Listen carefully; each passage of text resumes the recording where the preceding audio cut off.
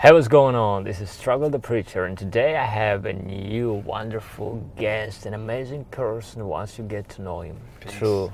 True speaks power. Today's Clash Wednesday. I know that many of you like Clash Wednesday. So what we do on Clash Wednesday, Okay. I take one song performed by two different artists, Okay. and we compare those songs. I mean, you're gonna tell me which performance you like better, All right. All right. and we kind of do the same thing. We discuss it, and then you just tell me which one you like best. You know. So, All right. Let's do it. so Let's that's rock. Clash Wednesday. bang bang. My name is True, but um, you know, on Instagram I go by True Speaks Power. Yeah. You know, um, and the reason why I I uh, go by that, you know, is because my mission and purpose in life is to show people that you are not powerless. Whatever you're going through in life, whatever is happening, you know, my mission and purpose, my service to you is to give you insight through my skills, through words, through my stories, to make you feel powerful. And not in a dominating way, but in a way where you feel charged, ready to go, inspired. So that's where true speaks power come from. And when I say speaks, it's not just words, it could be my writing, it could be my presence and whatnot, you know, my interactions. Make sure you check him out. I'm gonna leave the link in the description Yeah. below. So, and I happened to attend one of his events when he spoke uh, to the youth, and it was very. I, I, I, like I said, I already said in one of my previous episodes that I hate these days. I hate this word motivating because Hmm. it's overrated. Where everybody's a motivational speaker, but they do, but they do not live what they talk about. Mm. This guy right here, he actually, uh, he's been through what he talks about. Indeed. I mean, it's not like a bunch of words. It's not that he just has read so many Right. smart books and all Right, that, and just and regurgitating and just it. retell the, those Yeah, books. You know what I'm no. saying? How many people do? But his story, his life story, is very. I mean, I don't want to. I, I really don't want to use that word motivational, but if you will, let it be motivational. I want to say, I don't want to even say inspiring. It's like not even uplifting, but something that you can relate to. Yeah. yeah. And sometimes you be like, you need those role models, and role models not always celebrities that you see on, on the TV or on YouTube with millions of views. Role models are real people who actually live next door to you, but you don't know their stories. Indeed. And True, just I mean, I met him just like I did. The way I met him, it was not planned. Mm-hmm. Just like this, this, this, this episode is not planned. we actually went for a video shoot. Right. was supposed to have another uh, event, but uh, then we was like after that we were like, yo, you know, let, let, let's let's. I, I like I told him like I do these kind of podcasts. I was like, okay, let's uh, record an episode. He was like, okay, Yeah. I'm down.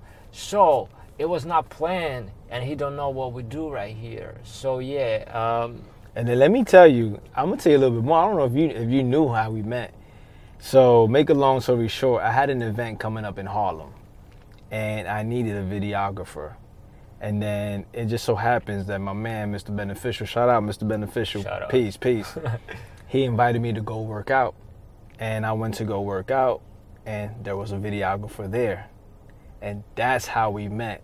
So I would say that the universe, you know, um, drew us together you know and, and back to the motivation piece i like that because i use the term motivational speaker only because that's what people know. Yeah. but i don't consider myself a motivational speaker. If anything i'm a personal development speaker you know um, but and especially because motivation is temporary you know you get motivated to do something Yeah. right it's just temporary you know I. I would like to say that you know what i share with my audience with my people with the people that i encounter on an everyday basis because if i'm your friend I, who i am on the stage or wherever is really who i am seriously for real like he said so is insights it's you know wisdom it's experience it's just bonding you know I, i'm a seeker so i would like to say that i learn from others as well and just just sharing you know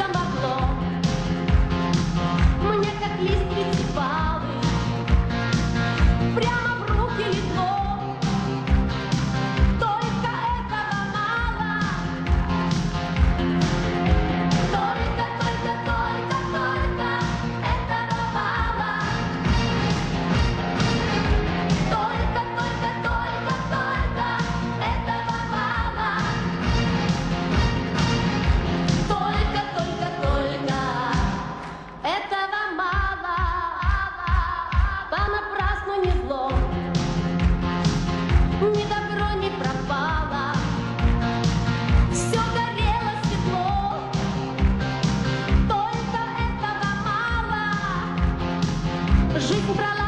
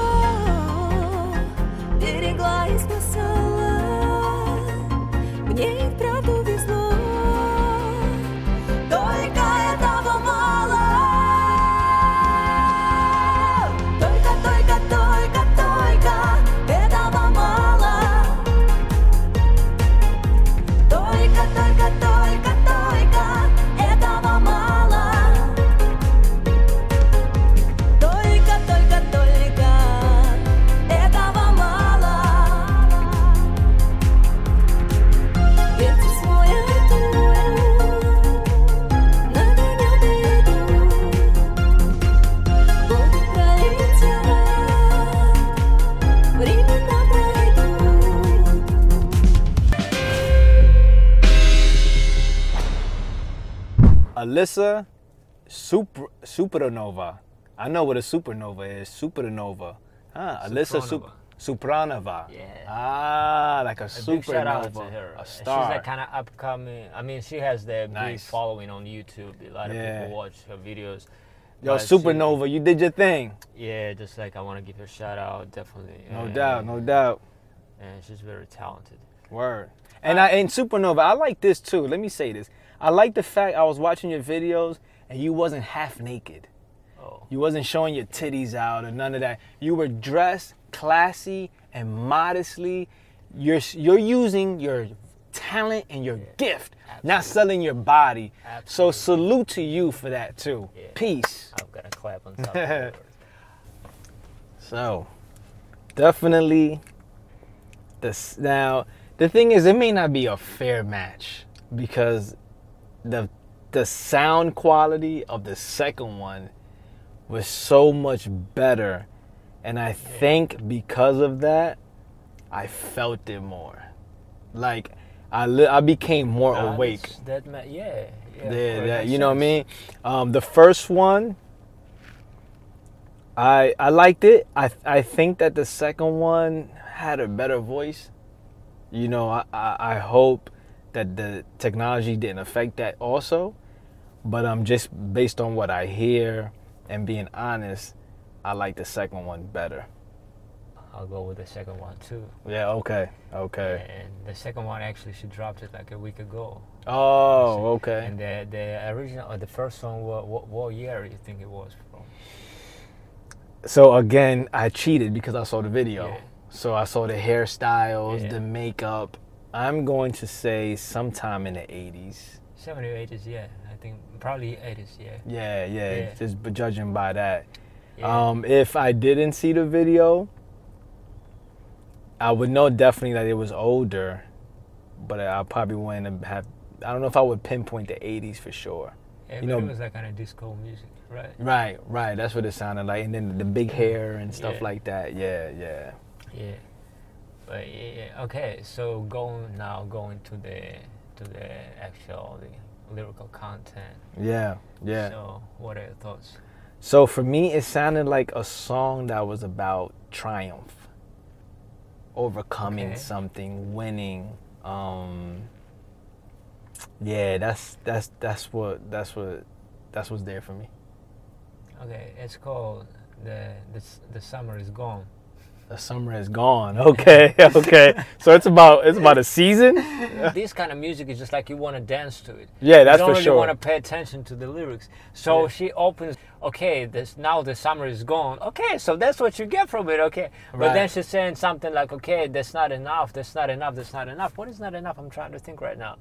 Come on, man. Yeah, it happens to me sometimes, and they'd be like, you know, people be like, "Oh man, you don't even know what you." do." Yeah. No. yeah, to me it sounds like something about overcoming something. So maybe it's about overcoming her look up the lyrics. her um her um what's the word the fact that she feels sad that the summer's gone i don't know but she sounds like she's overcoming something But that's interesting. That's what it's all about because when you don't know the lyrics, when you do not understand the lyrics, it's just like what you can get from the performance. right Like, okay, the music and the performance. right What kind of thoughts or emotions or vibes it gives. It gives you. Absolutely, That's what that's what is the most important to me. It's like when sometimes people be saying something, I was like, oh, I didn't even think about it, but it makes a great sense. indeed You know, you never even think because you understand. And when you do not understand, like I listen to some, like I said, French music, hmm and I do not understand. Sometimes I don't even want to understand because I can already feel, or, or that song, that particular song, give me certain emotions. And Right. sometimes when I translate, it's something different. It's like, man, that's not what I thought it was about. right right And it's probably I'm not gonna relate to what she's singing right. You know, Right, right, particular. right. Well, you know Nate Dogg, right? nate dogg yeah And you know his uh, rest in peace Rest in peace one of the greatest. indeed And uh, his singing is so beautiful, right but his lyrical content sometimes, you know, my his wife, my bitch. Your wife, my bitch, your love, my trick. Right, right. You know, so sometimes if you do not understand the English language, probably it's whatever. But when you Wow. understand the English language, you be like, come on, man. Yo, that's a great example because if you didn't understand English, you would think it's a beautiful song talking about love. Literally, no, he's he's talking about bitches and hoes, and I go curse on here, right? Yeah, Yeah, you can. Y- yeah, you know what I'm saying. So it's actually very derogatory towards women, but you wouldn't know that unless you know the English language. Yeah, yeah. You know, it, again, it's like the energy, right? So, like for example, if I do this. yeah. I don't have to speak or nothing. You could be from the bottom of a country somewhere in the bushes. If I do this, you relate to it. Yeah. You know what I'm saying? So Yeah, I, so again, energy is one of those things where you know um, you relate to energy. Yeah. You know what I mean? Yeah. And yeah. You know what I mean? So Absolutely. so what's the lyrics talking about? I'm just going through the lyrics. Actually, you know, I want to ask you guys to give me your thoughts. I mean, I'm not gonna even try. I'm not. I don't even want to try Hmm. because you know I gotta really go and think about what it what it's about. Um, tell me, tell me, tell me what it is about. I don't want to guess. I don't want to say nothing right now. You know, just uh, I want to hear your thoughts. I bet you I'm right, man. Let me know if I'm right. The song is about triumph, Probably. overcoming. Yeah, I think yes. I think you are. Now I'm going through it. I, I, I mean, I can translate it. But yes, I think that The summer's gone, but she's gonna she- be she- yeah, okay. yes, that's what Everything's she's- gonna be yes, all right. Because because she's saying here is this line for for instance, neither evil nor good was in vain. Hmm. Hmm. Everything everything was burning bright, you know, but it, it that was not enough. You know, that she probably Mm. wanted for more. You know, that everything was good, like you said, triumph. Right, right, right. Yeah, I want more. Yeah, yeah. I can see that. I can see that. Yeah. yeah, yeah. She definitely. said everything that could come true came true just right in, on, on the palm of her hands, but it's not enough. Yeah, and you know, eh, the the neither good or evil came in vain. I can actually really relate to that because me being from the streets and all the struggles that I've been through. His name is struggle. All the struggle that I've been through. You know, like for example, my dad wasn't in my life consistently, right? But now, like a lot of people acknowledge me, and I appreciate all that do for being such a great father. But this is the thing. What makes what makes me the man, the type of father that I am today, unfortunately, is the pain that I went through not having a father consistently me in life, consistently in my life, excuse me. So, you know, that pain that I experienced, I didn't want my children go, to go through the same pain. So that makes me go harder for them.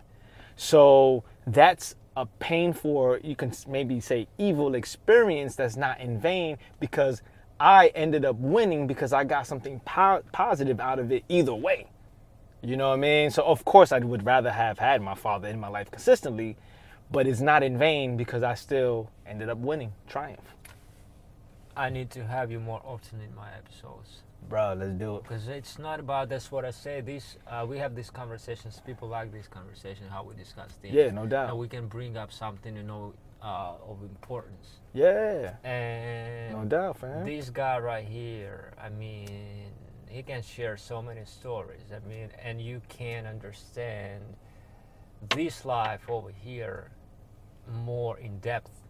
Not how you see it in the movies, not how you see it in the video games, Yeah, not how you see this like nah, sometimes you think, uh, sometimes sometimes you might think that things are over exaggerated or something you know but here when you speak to people like himself mm-hmm, or when you see what's going on in the streets mm-hmm, mm-hmm. when you see every all that life with your own eyes i mean just like it's even people in america who don't see that stuff Mm-hmm. when you don't go in the hood you don't see that stuff you don't Yeah. deal with that yeah, definitely, definitely. and it gives you much better understanding when you see that or at least you can hear you get the information firsthand Yeah. I mean, it's just not somebody re- tell you something Right. and Yeah, and, and, and you know, um, also like what I think of as a major thing is, and thank you for that acknowledgement, by the way. one of the major principles of Buddhism, and I'm not a Buddhist, but I love the Buddhist philosophy, all the sects, all the different ones that they have. And but one of the main points is compassion. And I feel like that One of the when main you points in, in, in Christianity too, because I'm a Christian. Oh, okay. Oh, Yeah. word. See, okay. Thank you for, for also sharing that. So compassion, right? When you hear someone's story and you actually like put yourself in their shoes, and, and instead of being so judgmental or knocking or, you know, maybe just listening to whatever the media says, right? You know, you can have more compassion and maybe not be so judgmental. Because maybe if you see me speaking on stage or if you read my book, you know, um, you won't assume that I sold crack, that I've been locked up, that I used to, you know, have guns on me all the time. You wouldn't know that until I tell you that. So that's where the compassion and the and the judgment, because you don't know who's in front of you, you don't know what they've been through, and if they are going through that, you don't know who they'll be, and that's important. So instead of always being judgmental, you know, share some encouraging words instead, because that could put the person on a better path. Thank you for bringing this up because I kind of, you know, there are some people whom I kind of fed up with, you know, reading their comments. They, they like to speak for somebody else. They Uh-huh. like to speak for somebody else, and that's what I always try to tell them that you should not speak for anybody but yourself. Mm. Sometimes we cannot even speak for ourselves. Yeah, yeah, You know yeah. what I'm saying? Authentically you. I, I, I, I have this shirt that I sell. It's my shirt. I came up with the quote, but at the bottom, if you can see, it says, "Be you, be your authentic self." Not like a jerk. If you're a jerk, don't be a jerk. Yeah. But what I'm saying is, Don't be proud of being you when you are a jerk. Try to change yourself and be you. Like, you know, because sometimes people, oftentimes people actually take it as an excuse. They be like, "That's the way I am," you Right. know, and they don't want to change. But if you are a jerk, what you're proud of? You're Yeah. proud of being a jerk. Right, and, and- and I, I will challenge that because the universe is based on love. So you didn't come here, you know, as a jerk. You came here with love. You came here to be loving. Look at babies. Look how babies are, right? The society Yeah, made you. exactly. Not really made you. I mean, I don't want to say we, this way. We're gonna blame it on the society. We're gonna blame Yeah, it. We're yeah. gonna take it. Uh, you know, we're gonna we gotta acknowledge that uh, we That's right. uh, like this. My the, my book, you should my not book blame nobody. Indeed, my book that's coming out is called The Power of Choice because I realized all the stuff that I went through, all the stuff that I did, I could I, I could definitely tell you it was the environment and it was the school system that's horrible, all of those things, which is true. Um, but at the end of the day, I made a choice. Yeah. I made a choice to, you know, cut school. I made a choice to, you know, do those things. At the end of the day, my mother raised me right. My mother taught me the right things. I chose to do the wrong things. Yes, there was more of the wrong things around. Yes, it was like a traps all over the place, but at the end of the day, it was my choice. Yeah. Thank you, and No stay tuned for our next episodes. I'm trying to be back on uh, schedule. That's gonna be season two, No doubt. and I truly would love to see my brother True. True, I truly want to.